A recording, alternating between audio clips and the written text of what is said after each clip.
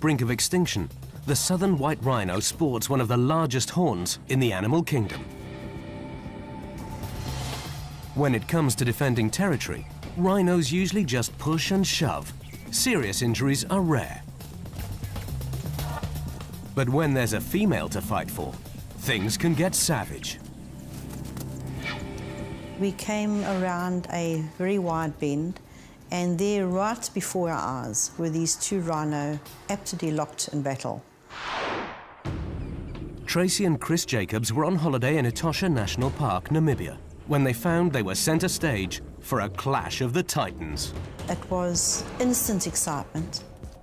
Chris just slammed on brakes. He didn't want to go another inch further forward because they were clearly very aggressive and he was afraid they were going to ram the vehicle. And I was shouting never mind the vehicle, I'll just go forward, I've got to get this footage. So half hanging out the window, we inched forward until eventually we were as close as we dared.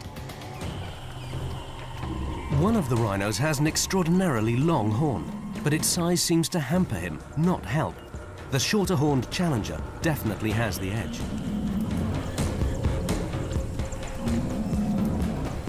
The one appeared to be stronger and fitter than the other one, and far more aggressive. The weaker of the two would keep turning around and trying to run away, and the more aggressive rhino would run up behind him and literally lift him right off the ground with his horn.